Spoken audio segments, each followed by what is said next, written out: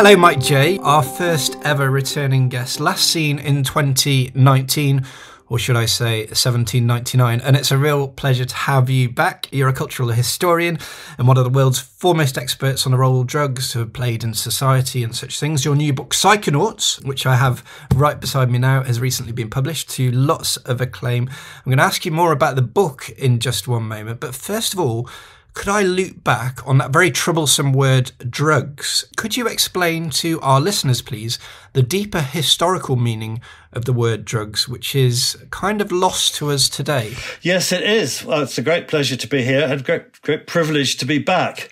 Yes, I mean, I think I'm probably fairly typical of all of us in uh, growing up, assuming that uh, drugs, as we call them, kind of appeared in the 1960s, and that prior to that, there wasn't really a history of them. They'd either, you know, been banned or hadn't existed or whatever. So it's surprising surprising to discover that uh, the word drugs, as we're going to use it now, meaning intoxicating or illegal or whatever um, type of drugs, is actually a creation of the 20th century and didn't exist before that and actually couldn't really exist before that because before that, the word drugs just meant all medications, anything a doctor would give you or that you'd find in a pharmacy. I mean, we still have that use of the word in superdrug, for example.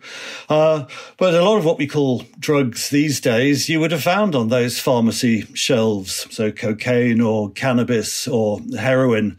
So in going back to 1885, we're going to go back to a world where drugs, in the sense that we're using it now, um, don't exist. But I'm sure we'll use them anachronistically because uh, it's a, a useful term to have for us these days. Okay, well, before we get into the history, there's something I really have to ask you about, which is the contemporary relevance of, of drugs. And this is something you actually begin the book with a, an account of how things have changed throughout your own writing and researching career. There's a renewed interest in psychedelics today. Prince Harry's famously spoken about how ayahuasca has helped him come to terms with the death of his mother. There's all the work of Michael Pollan, of course, and um, Sapo, which is the psychedelic toad venom, mm-hmm. has uh, has been called the new trendy hallucinogenic. Uh, so much has changed just recently, and I just wanted to kind of get your perspective on that, and um, if you saw it coming or or what. Yeah, I mean it's um, I mean, it, it, it's commercially driven, of course. There are literally billions of dollars being pumped into licensing these psychedelics as pharmaceuticals, making them part of um, clinical medicine and therapy. I think that's where our conversation is at the moment. I, I suspect that our conversation is going to move beyond that into the other roles that they might play in society. But in terms of my the perspective I want to bring, the narrative that accompanies this is that psychedelics and, you know, generally the exploration of the mind and mystical experience on drugs was something that kind of suddenly started in the 1960s and that nobody, you know, in Western science or culture had ever thought much about that before. And that by the end of the 1960s, it had all been um, discredited or banned or driven underground or whatever. And uh, now it's suddenly bouncing back. But I think um, that's a sort of, um, you know, that's a false periodization. I mean, partly because the word psychedelic wasn't coined until the 1950s. So we tend to assume that that's where the story starts. But uh, the story that I'm uh, outlining in Psychonauts is one where actually, right back to the very beginnings of the scientific revolution and the Royal Society, uh, scientists and the broader um, culture have been very aware that mind altering drugs tell us extraordinary things about the mind and reality and our place in it. And uh, that all the way up until until the 20th century, the natural way to investigate this was to take these drugs yourself and uh, describe and uh, write about the experience. So I think um, what we're doing now is not just picking on, on, something that suddenly emerged in the 1960s. We're uh, rejoining a sort of longer, deeper stream of uh, interest and investigation into all this. Well, you mentioned there the word psychedelics is, I mean, we're full of tricky words here, haven't mm. we? Got the drugs, psychedelics, but um, let's go on to the next one, psychonauts, mm-hmm. um, which is a very enticing word in a way. It sounds a bit like an astronaut. It does. Um, But um, could you tell us where you found that word and why you think it applies so well to your subject that it's that it's there on the front of the book, and and also maybe just talk about Psychonauts, the book, and what you were what you were trying to do. Where's the central area of focus in that book? Right. Well, the word psychonaut, you hear it quite a lot these days, mostly from people taking psychedelics and applying it to themselves. Uh, it was coined by the German novelist Ernst Junger in a novel that he wrote just post war in 1949. And it's a futuristic novel in which he imagines a cadre of scientists in the future who are synthesizing new drugs and using them to explore the hidden regions of the mind. And uh, when you hear it used these days, it tends to mean something, you know, something of a rebel or a renegade, because of course, within institutional science, uh, people like uh, neuroscientists and psychopharmacologists uh, don't take the drugs that they're studying.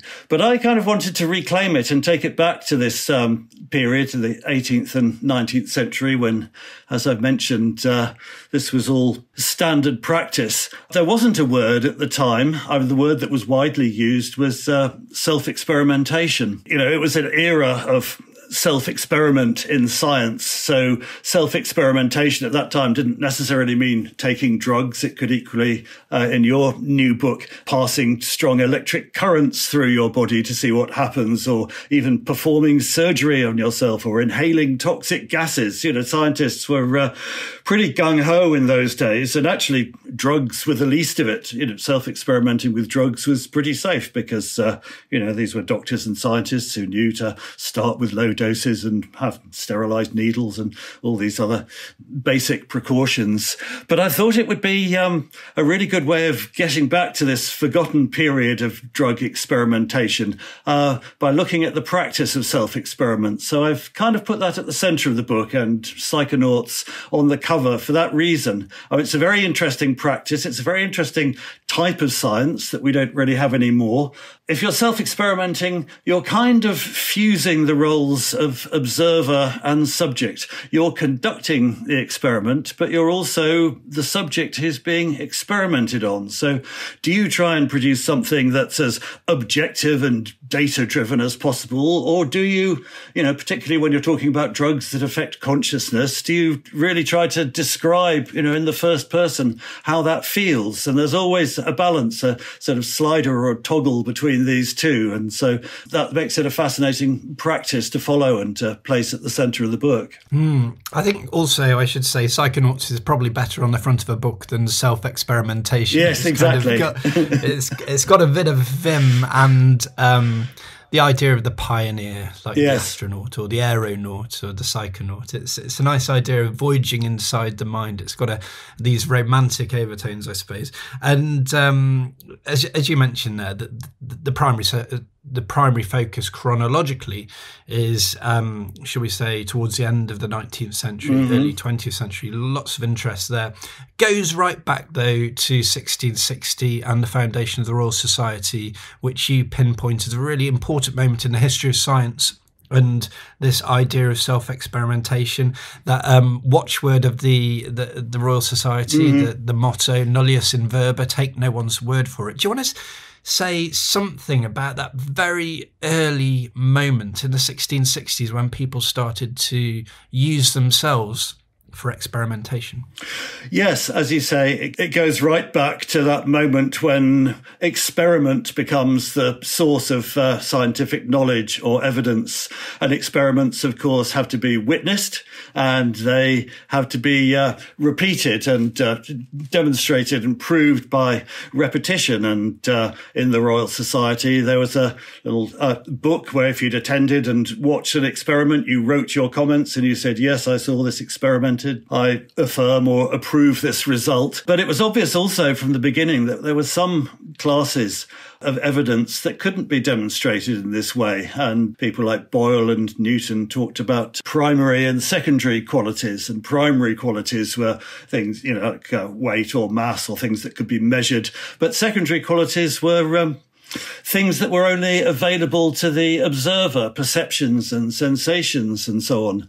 And you couldn't discount these. They were important for science. Uh, I guess the famous one of Isaac Newton is not taking drugs, but it's a very similar principle. When he's uh, investigating light and color, he notices that if you stick your finger into your, behind your eyeball, into your eye socket, you get all kinds of strange colors and visual distortions. And he performs that as a self experiment and uh, writes it up, including a diagram of uh, what he's done. He's taken what he calls a bodkin, like a knitting needle, and stuck it behind his eyeball. And he notes that he's if he dents the curvature of the eyeball, then you get visual distortions. And he's keyed this picture with uh, letters A, B, C, D, E, so that other people can repeat it. So that's an example of a phenomenon which can be correctly reported. You know, there's a difference between uh, making things up and reporting them correctly, but it can't really be demonstrated because these colours are only in Newton's head. So you have to find a way of dealing with that. Mm. And also justifies your your point earlier in a way that drugs were the least of it because when you're sticking essentially knitting needles in your eyes, I should say no one try this at Absolutely. Um, we are verging on the very dangerous, aren't we, at this point? Just say no. um, okay, I should just ask you this question about subjectivity and objectivity because it's such an interesting one in science. Because science likes to produce the most solid theories that can be testable, that can be falsified. Obviously, this is just an impossibility with um, a lot of what you're dealing with today, especially with people's experiences of taking drugs. How did how did scientists react or respond to this problem. Could you talk generally? I know we're going to look more specifically in a moment, but mm-hmm. was there anything in particular that they did?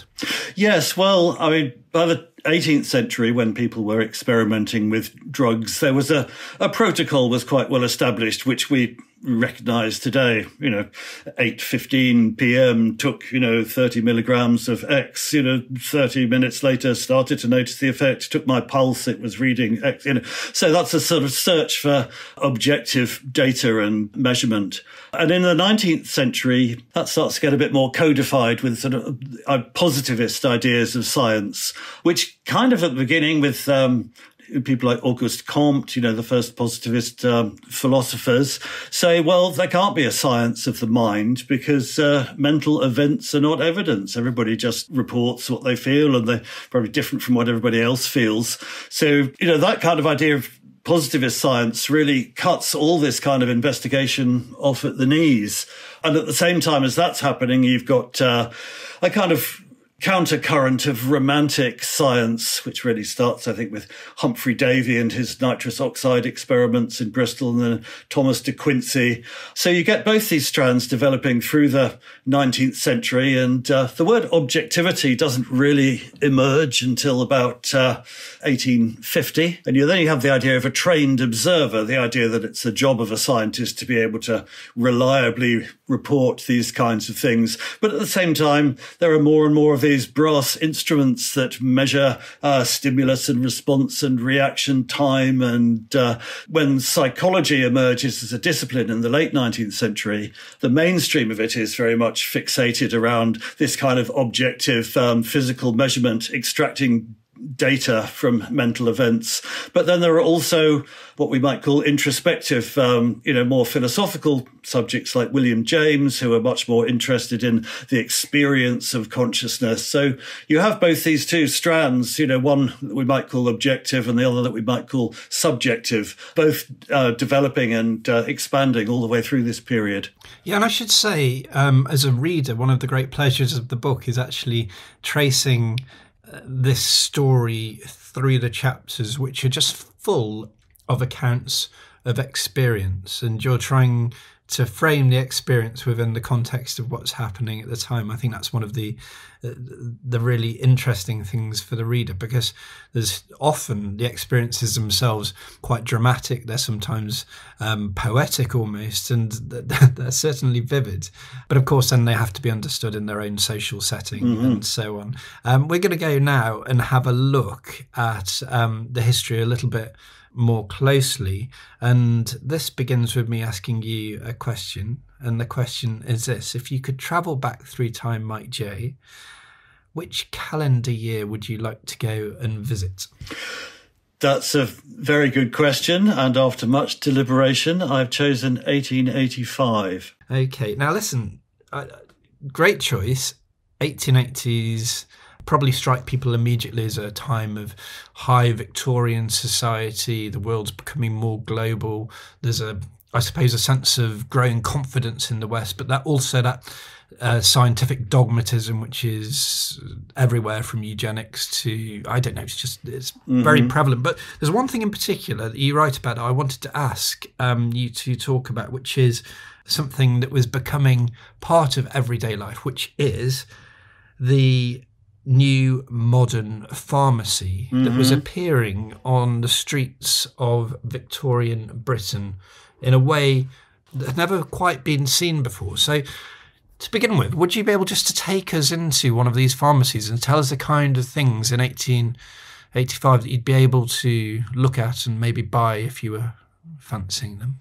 Yes, I think this is uh, this is crucial to the story. This is one of the things that makes 1885 is really the beginning of this point where the both the fascinations and the dangers of drugs are being ramped up as we head towards the 20th century. So, uh, for a previous generation, a pharmacy would have been a shop with uh, bottles of uh, powders and apothecaries, uh, you know, putting them into little paper packets.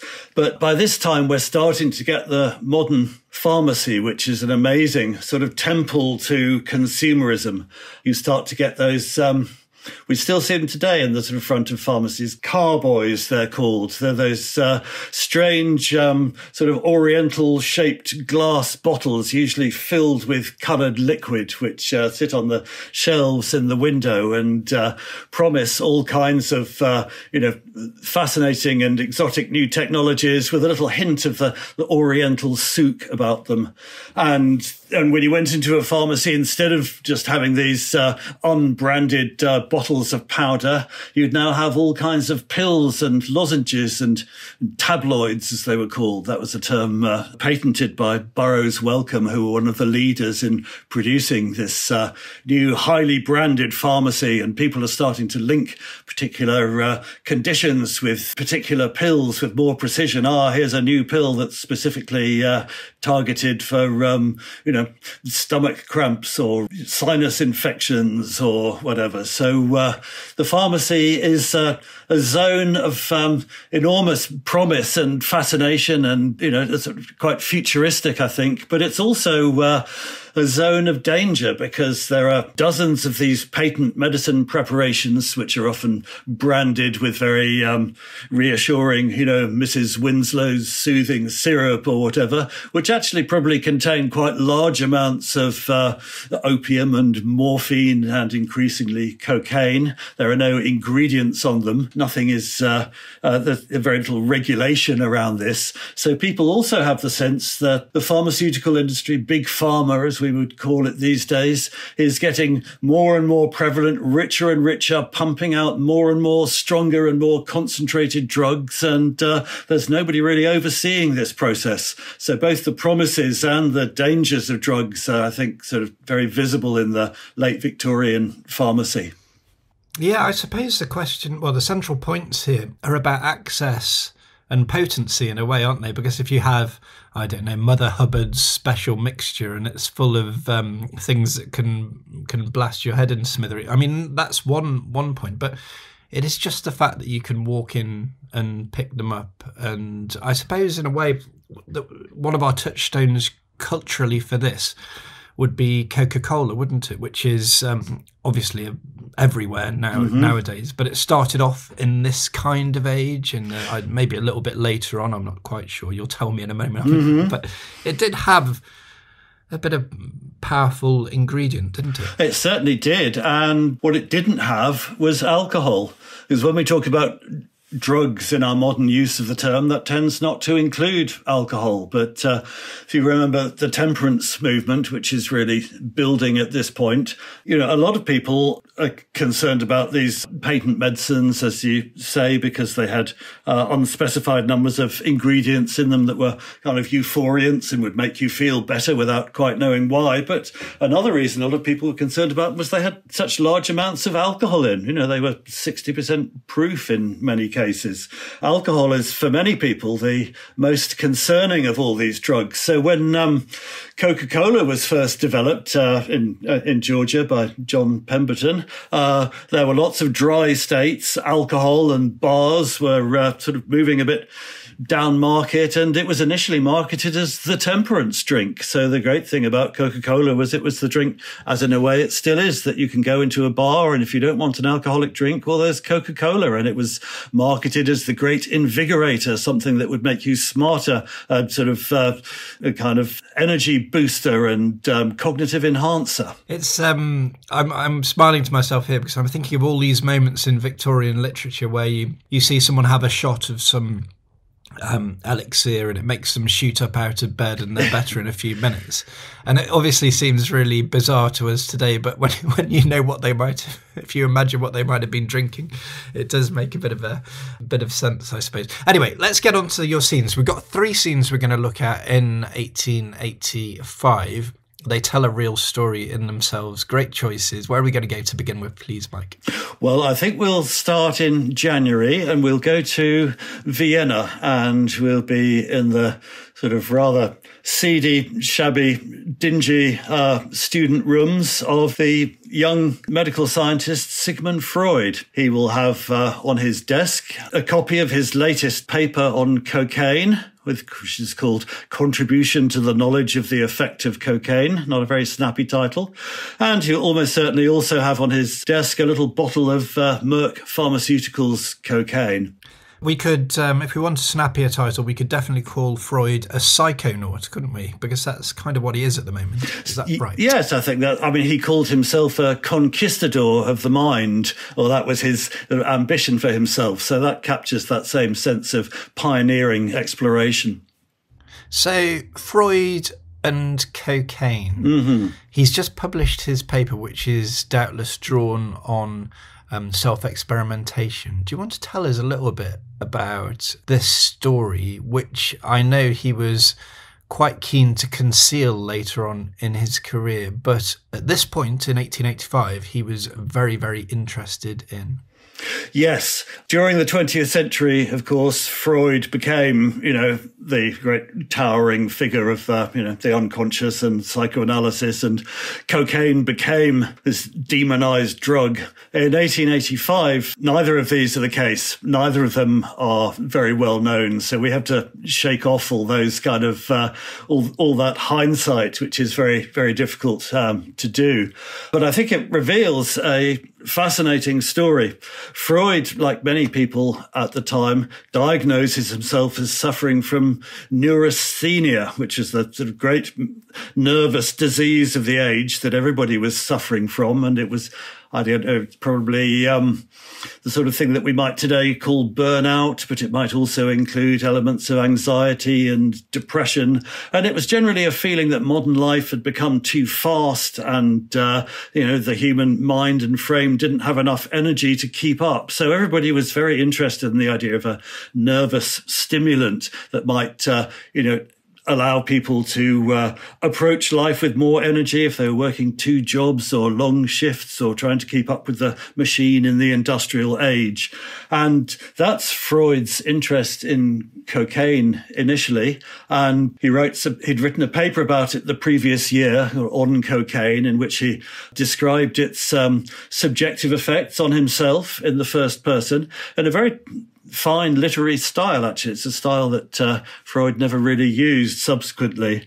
And this paper that's sitting on his desk at the moment is the follow up. And what he's noticed is that his subjective response to cocaine is not the same as everybody else's. He's been trying it on sort of his fellow medical students. Uh, he feels this wonderful euphoria that he's described and great um, energy, and he finds it incredibly useful for work and for his mental health. But he's noticed that other people have very different responses. Often they feel a bit nauseous or it makes them a bit anxious. So he's looking for some way of um, establishing objectively what cocaine does. So what he's been doing for this new paper is something he never ever did again in his career was actually experiment on human beings, including himself he had a machine called a dynamometer, which measured the muscular strength that you could exert. And he wanted to use this to prove that uh, it wasn't just a subjective feeling that you had more energy, that you actually did. And so he'd been doing systematic trials of himself on cocaine, pounding this dynamometer, and he'd established, you know, it was no illusion. He actually could exert, you know, more muscular force for a greater period of time when he was on cocaine. But the other thing that he noticed was that uh, this effect seemed to start almost immediately as soon as you'd taken the drug, when you first felt that moment of euphoria, that mental lift. And actually, before most of the cocaine had got into the bloodstream. So the theory that he was proposing in this paper was that it was actually the mental effect of the cocaine, the euphoria that unlocked this energy. It wasn't a straight, simple motor stimulant. In some ways, it was uh, the elevated state of mind that it produced uh, had a physical effect on the body and on the level of energy. Mm. A practical question How was Freud taking his cocaine at the moment? Am I right in thinking that he was putting in a solution of water? Is that correct? Yes, that's a very good question. That's what he started off doing. He first of all got it from Merck Pharmaceuticals, who was a German supplier. It was quite expensive, but he went ahead with it anyway. And as you say, he dissolved it in water and drank it and described how it made his uh, it was a local anaesthetic, and it made his lips feel warm and his throat feel cold as he as he drank it. But just about at this um, point, he'd uh, because it was expensive, and he'd established that you know it was a lot of it was broken down by stomach enzymes, and it was better absorbed by mucous membranes. He'd started sniffing it because it was more economical, and what that also did was uh, it gets into the bloodstream much faster, so you feel the rush and the euphoria more powerfully. So, what was his objective with this paper? Did he envisage a world which seems a little bit bizarre to us today, I suppose, where you'd have high functioning creative individuals being powered by cocaine because in Vienna, this pioneering scholar had shown that it enhanced human capacity. Or, as you put it, I think yourself, it allowed um, the nervous system to access untapped reserves of energy. Is that kind of what he's thinking of, or is it more of, I suppose, a just just out of the the pure interest in knowledge. No, it's definitely that, and and cocaine actually at this point is just starting to become a big mass market um, pharmaceutical product. It had been very expensive. It was quite hard to source. It had you know the coca leaf only grew in the Andes, and but partly as a result of Freud's work, you know, at this point in the sort of early days of cocaine's boom years, he's often cited as the great medical expert on the subject. And both um, Parke Davis Pharmaceuticals in the States and Merck Pharmaceuticals in Germany are starting to uh, produce more cocaine in the Andes at source. There's much more of it on the market. It's becoming cheaper. It's being advertised as a sort of wonder cure for all sorts of things. There's a lot to take in because um, it's a local anesthetic already. By this point, it's transforming eye surgery, which used to be impossible. So it's got that application. It's also uh, clears out the sort of bronchial passages. So it's very good for um, catarrh and all those sort of nasal infections. And on top of that, it's this thing that gives gives you energy. So it's like, I suppose, the equivalent today of a, a Red Bull or a double espresso or something like that. It's like a sort of pep energy drink. And also it's an antidepressant. It makes you feel good. It lifts your mood. So there's an enormous number of um, doctors starting to use it, pharmaceutical uh, company magazines publishing great stories of its cures and efficacy. So he sees it um, becoming a, a, staple of the pharmaceutical market and something that really increases um, everybody's energy and capacity. And he's not alone in this. There are uh, medical journals are saying this cocaine is exactly what doctors need these days. We have to be alert and firing on all cylinders. We have to have great reserve of physical energy and also be mentally acute. This is a very, very good fit with the kind of demands of the medical profession. So it's not just Freud. And one of the reasons I want to capture him at this moment is that, you know, he's at the sort of, he's at really at the peak of his uh, discovery of cocaine before everything starts to go uh, horribly wrong, as it will in the years ahead. Mm. I think it's nice because the chapter you write about this story or the, the section is is titled The New Accelerator. And this idea of acceleration, of speed and things just becoming more intense. It's a really good way to think about the 1880s, mm. 1890s, isn't it? I think so, yes.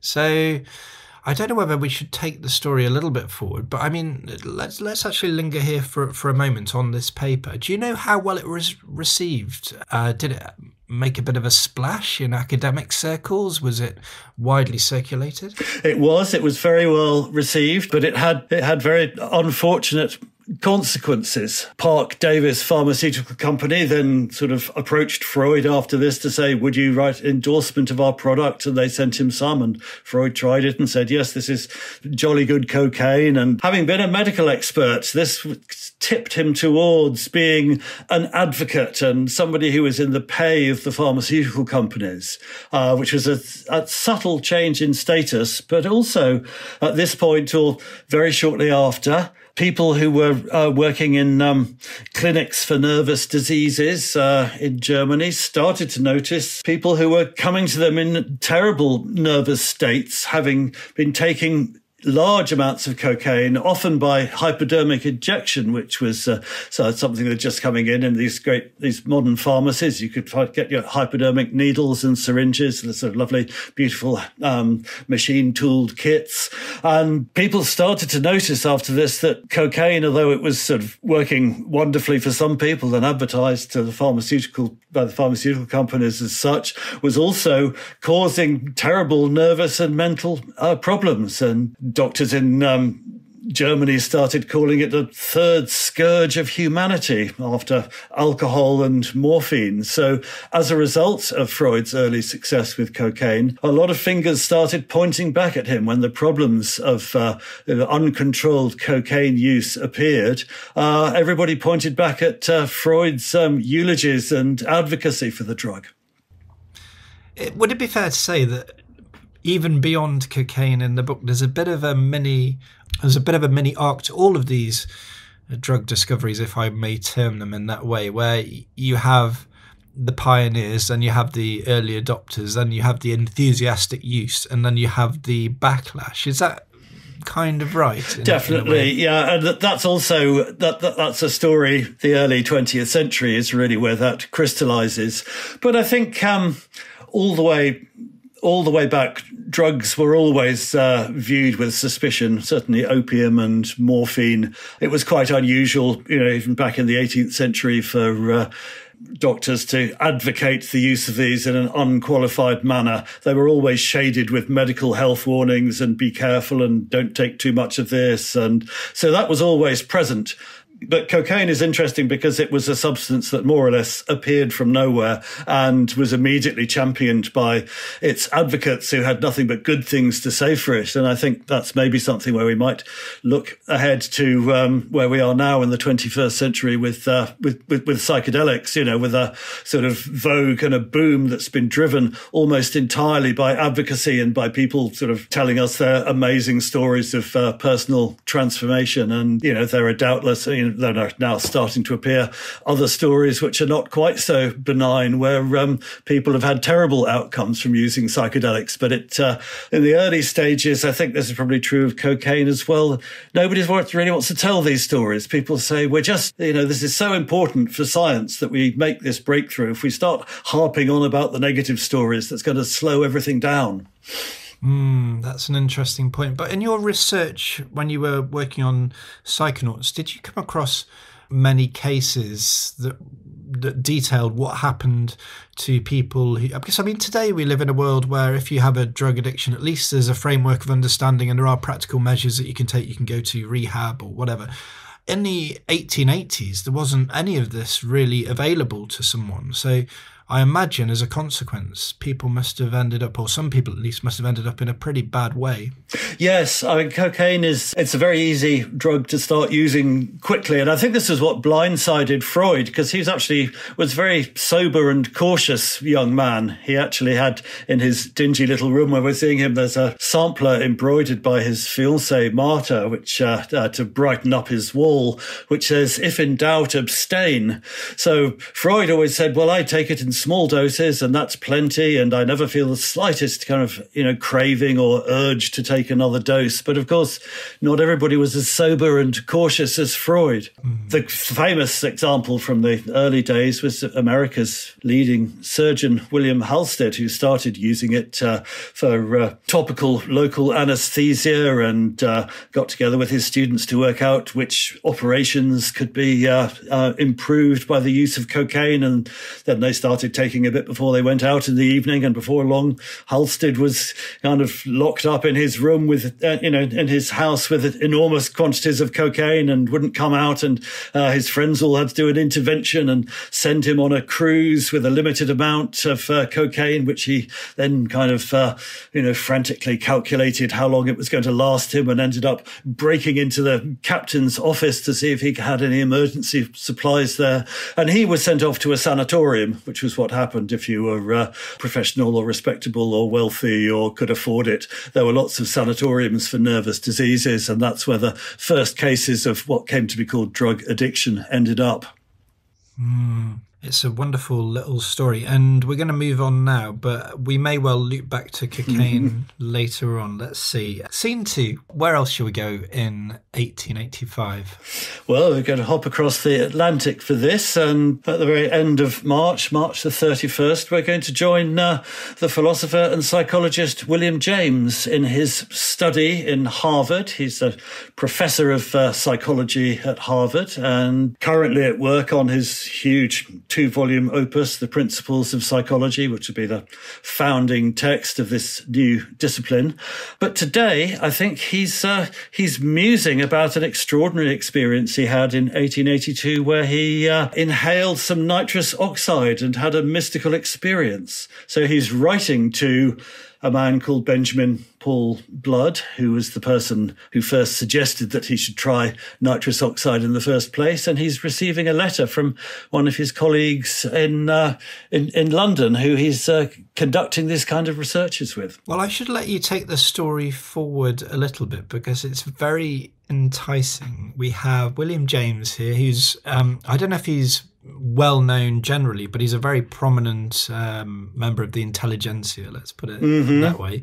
And nitrous oxide, which people may well know as I mean, if they'd listened to your 1799 episode where you talked about the initial discovery of nitrous oxide and Humphry Davy and a little green bag and mm-hmm. the um, effect it had on the, the, romantic poets and so on. Um, here we're seeing it the best part of a century later, what does he say to Blood? Well, the thing that's happened to nitrous oxide in the interim since uh, Humphry Davy first experimented with it in 1799 is that it has uh, been part of this great revolution in medicine, the defining triumph of modern medicine, which is um, surgical anesthesia. Ether and nitrous oxide and chloroform are all now being routinely used in surgical practice. And particularly interesting, I think, for James is it's uh, it's American. It's uh, it was America's first great medical scientific uh, triumph on the world stage. Benjamin Paul Blood, like uh, many hundreds of thousands of other Americans, first encountered nitrous oxide at the dentist. And as he came round from his dose of the gas, having had his uh, wisdom tooth removed, had this extraordinarily powerful sensation that he'd somehow seen reality for the first time, that behind the material world, you know, there was this much more fundamental sort of experience that could be had where you would really be kind of one with the universe and understand everything. Blood became fascinated by this. He asked the doctors and dentists about it and they said, Oh yes, haha. Well, lots of people say that, you know, who knows? Blood wanted to know more. He was a he was very interested in philosophy, particularly the idealist philosophy of Hegel, and he started writing pamphlets about his experience. And uh, he insisted, I, I sent one to William James and insisted that he experiment with nitrous oxide himself because, as he said, this is a different kind of philosophical revelation. It's not a kind you can read about in a book. It's a kind that is readily available, but only in this other state of consciousness that you have to visit. So James uh, did this himself, and he also had uh, a, a, very, very powerful mystical experience, which was um, a defining moment for him because he'd never had a mystical experience before. He'd always known about them because uh, his father was a spiritualist, a Swedenborgian and a mystic who wrote long, rambling tomes about abstract philosophies and Plato and the absolute and uh, William James had never quite known what to make of these because uh, his father was a you know a great man and he respected him, but it, this all just seemed a bit silly. He didn't get it. So I think, as well as um, professionally, uh, then personally, this was a huge moment for James of having a mystical experience and understanding what that meant and how that if you changed your state of mind, your state of consciousness, the world could and reality could appear entirely different. This was something that would go on to become a, you know, a major fixation with him and the great canonical work of his late life, the varieties of religious experience. He put his nitrous oxide experience right in the middle and said, you know, what it taught me was that uh, our normal waking consciousness is only one particular type of consciousness. And there are all kinds of other states of consciousness which generate all kinds of other different types of experience. And it's not really fair to say, um, you know, this experience should be disqualified because it was drug induced. It's still an experience. And as James himself proved, you know, even these experiences can be foundational, you know, and uh, you can carry them back into your real life and they can really change your life. So uh, I think that's where, uh, that's the path that James is uh, setting out on at this moment. We we have James on the front of Psychonauts, this double exposure, mm-hmm. great sunburst of uh, kind of lurid colours. Um, is this how we should imagine him almost on that day in 1885? He's got some dark glasses on as well, which are always pretty cool, I should say. He's he's looking, uh, you know, a very modern figure there. Yes, modern's another tricky word for us, but we, mm. we won't get into that. Yeah. But is that how we should see him? No, I mean it's it's a great photo. He's looking like such a modern hipster. He's got his slouch hat and, as you say, his uh, very cool shades and his sort of baggy outfit. That's actually him 20 years before this as a young man going off as an expedition to the Amazon, to Brazil. Uh, at that point, he thought he might be a naturalist, but he decided against it. So in a way, that image is slightly misleading because it makes him look like a sort of rugged frontiersman and a kind of outdoor figure. He was actually someone who had very delicate health. He, like Freud, also diagnosed himself with neurasthenia. He had a sort of maybe a mini nervous breakdown uh, before he. It was a long time before he finally got launched in this career as a psychologist and became a professor. So I think he's actually a much more fragile and diffident figure than he uh, looks on the cover of Psychonauts.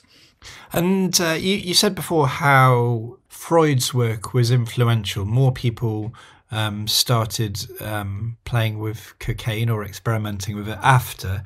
Was there a similar thing with William James and his, you, you know, his his researches on nitrous oxide? Did it?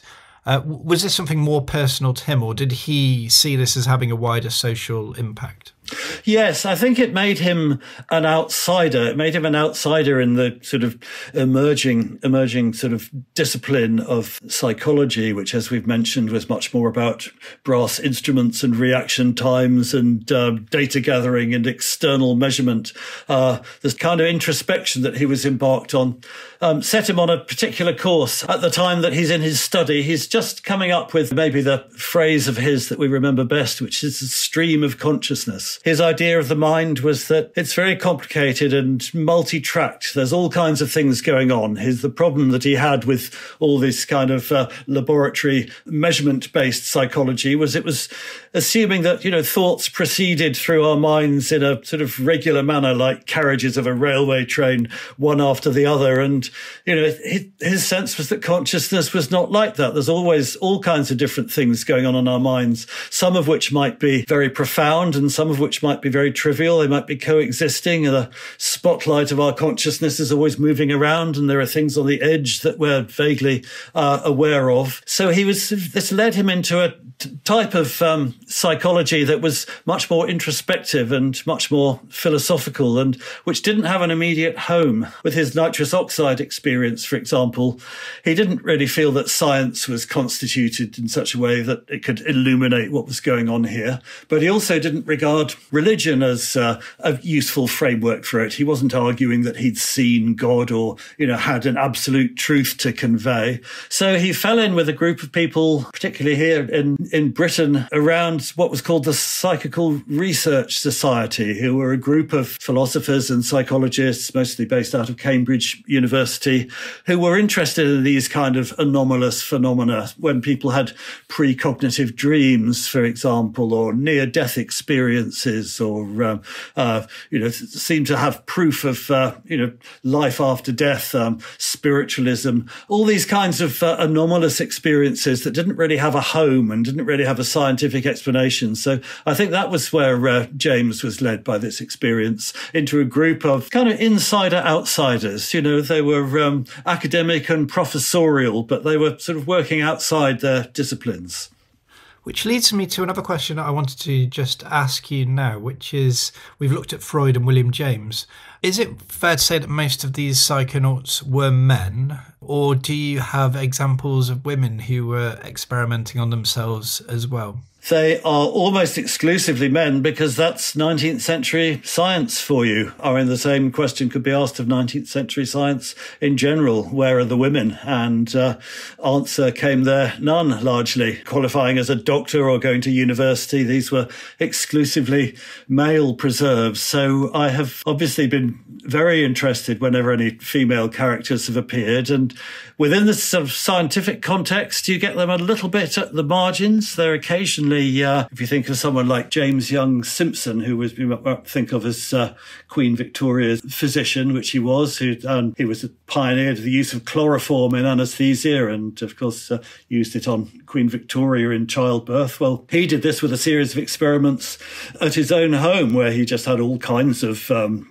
solvents and bottles and uh, sat around the dinner table sniffing them and passing them around. And uh, this included his, his niece and his wife. So we get little bits of snippets of women as experimental subjects. But where we really see women directing their own self experimentation is outside science and in other areas, literature and particularly kind of occultism. There are some fascinating women in and around the circles of the Order of the Golden Dawn and W.B. Yeats and so on. Yeats was obsessed for many years with a woman called Maud Gonne, who was a fervent Irish nationalist and, like Yeats, deeply immersed in Celtic mysticism and magic. And they used um, hashish and chloroform together for uh, magical rituals and out of body experiences. And uh, Maud Gonne, who was an extremely bold and forthright woman and went to jail several times for her political activism, she kind of uh, writes in her memoirs about how she used these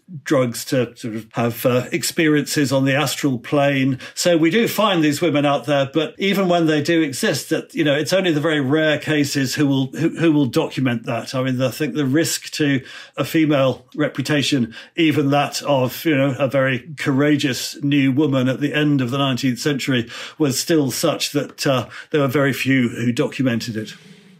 I was just going to ask you about the James Young Simpson. Was that was he the one? Because there's a wonderful moment in the book when you're talking about the experiments with ether, mm-hmm. which is the the one I would have probably out of all of your uh, substances, the one that I would have stayed furthest away yeah. from. I think because it gave uh, particularly bad hangovers, where they all fall, they all drop down.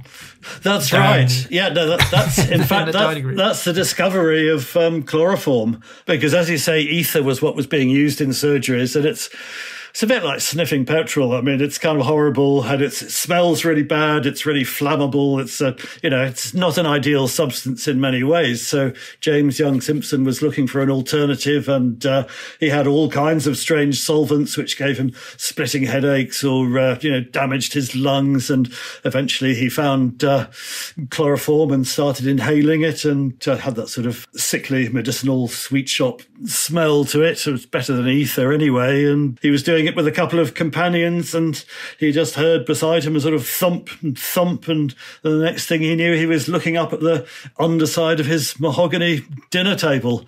And they all went, well, that worked, didn't it? Let's, let's try some more. oh, brilliant. Okay. Well, let's go to your third scene and see what's waiting for us there.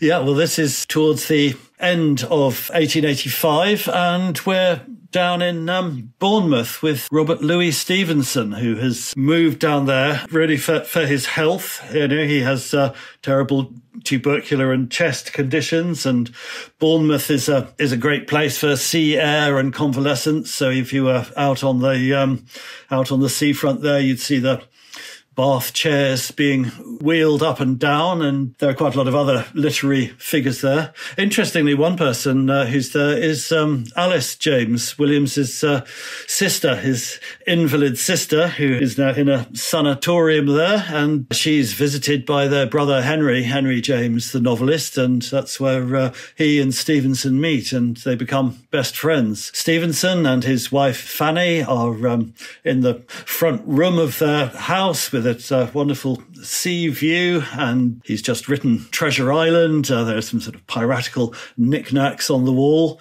And he's lying there, mostly bedridden, with a uh, sort of table of medicines beside him, all kinds of pharmaceutical preparations, probably including some coca wine. He's just woken up. He's been woken up by Fanny in the middle of the night, having suffering a terrible nightmare and uh, she wakes him up and he complains and says i was having a dream. I think there's a great story there. And uh, he writes it in uh, three days flat and uh, fanny reads it and says no there's a, there's more to the story than this. This is just a kind of creepy horror tale. I think you, you can go further with this. So he burns it all and then in another three days and nights writes uh, the strange case of dr jekyll and mr hyde if he be Mr. Hyde, he thought, then I shall be Mr. Seek. It's one of my favourite uh, lines in literature, yeah. and it's a, such a magnificent short story, well, a bit longer than a short story, mm-hmm. but it's mm-hmm. not too long. And this opens up such an interesting area of um, of the book, really, which is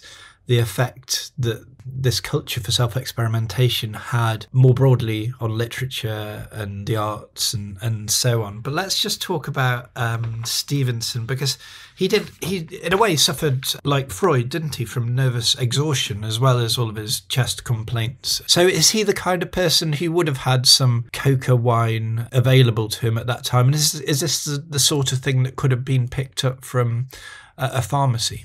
Yes, it is. And that was the preparation in which uh, uh, coca was most widely available at that time. Thanks to uh, Freud's work, it wouldn't be very long before coca was available as pure cocaine in all kinds of tablets and lozenges. And uh, later on, Stevenson in Samoa uses stronger coca preparations. And he does write at one point, I think if I had an injection of pure cocaine, that would probably sort out my influenza. So uh, he's well aware of it it. Uh, the other interesting drug that he has on his table side is, is ergot, ergotine, which is uh, used for, it's a vasoconstrictor that people with, uh, who were coughing up blood would use because it would constrict the blood vessels. And, but that's also the substance that um, a Swiss chemist in 1930s called Albert Hofmann would uh, tinker around with in a laboratory and uh, produce LSD. So, uh, so yes, the of the drugs of the 20th century are certainly present there.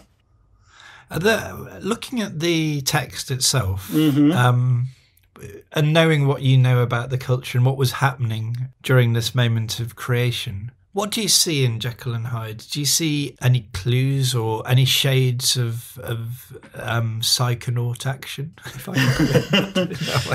Well, there are so many ways of looking at Jekyll and Hyde as a story, and it's one of those amazingly potent myths and metaphors that can be read many different ways. But if you read it literally, it is about a scientist who's self-experimenting with a drug with a white powder that turns out to manifest a um, sort of dangerous and different sub personality.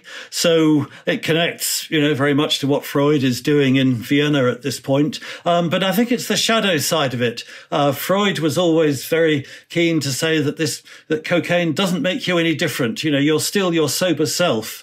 You just, uh, you know, have a bit more energy and a bit more vim about you. But uh, Stevenson is picking up on this idea that actually it might do more than that. It might manifest a second self. And there are drugs that might take people who are normally uh, responsible and respectable and professional and turn them into quite a different character.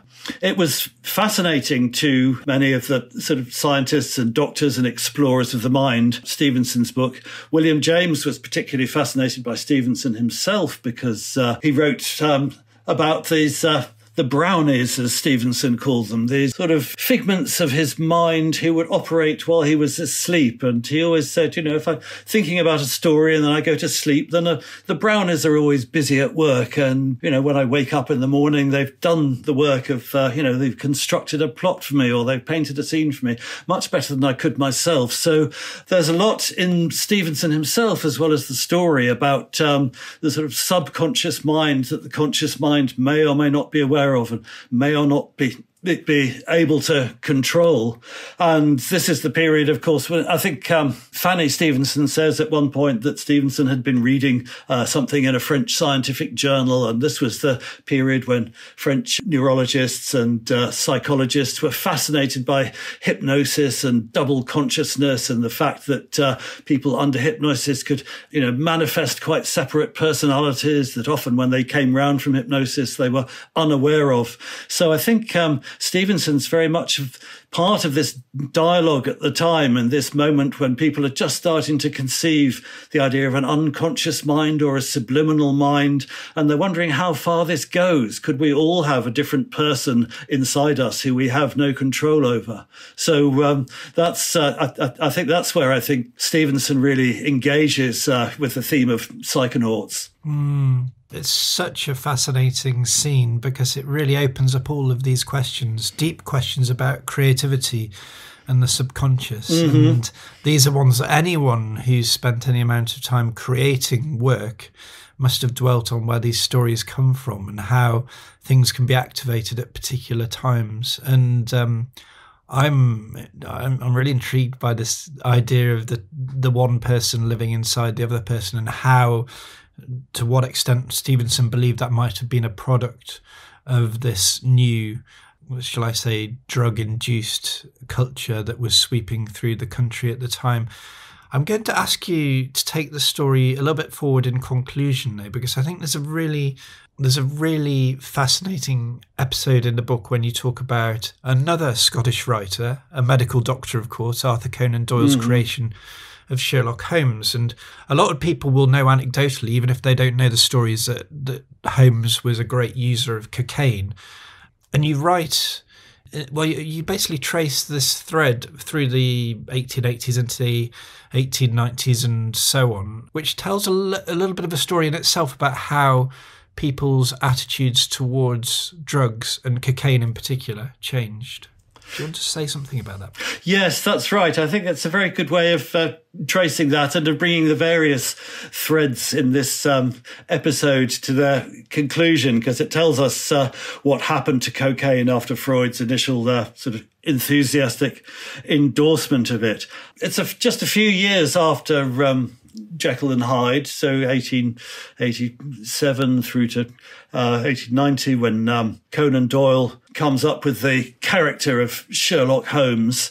It's, it's, always been, I think, peculiar for us with hindsight that from the very beginning, Sherlock Holmes is uh, one of his sort of key props is um, the cocaine and the syringe, and I think this is. Uh, partly, you know, he's this he's this metropolitan aesthete, a rather Wildian figure, I think, for uh, for Conan Doyle, who practices his uh, detection as a kind of art for art's sake, you know, as well as having his uh, meerschaum pipe and uh, his Stradivarius violin. He's got his uh, his cocaine and his needle, and uh, that's the explanation at the beginning of the Sign of Four, the first novel that he gives to Doctor Watson for uh, why he's taking cocaine. He says, "Well, my my mind always needs something to engage with. You know, that's the uh, that's the reason why I take on these abstruse puzzles." puzzles and detective investigations is it keeps my mind occupied. And if I'm not doing that, then uh,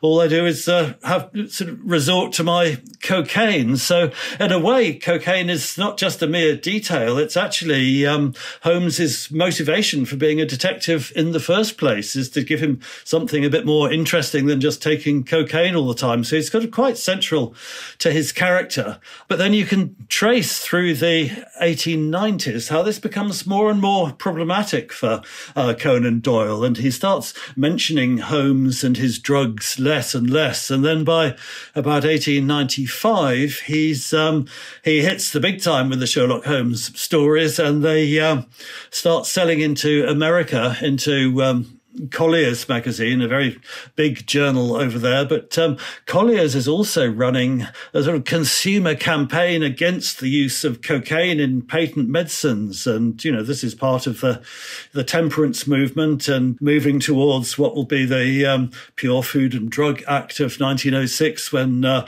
all these preparations have to have their contents labeled and so on. This starts as a consumer movement in the same pages in which uh, Sherlock Holmes stories are running, sort of one point, you know, a few years later, then uh, Conan Doyle has to sneak in a little reference by Watson saying, "Oh, by this time I've managed to uh, cure Holmes of his terrible vice of drugs, which would have been the end of him." And so, you know, he kind of parks it safely in the past. So as we go forward with Sherlock Holmes into the uh, 20th century, he's a he's a drug-free character.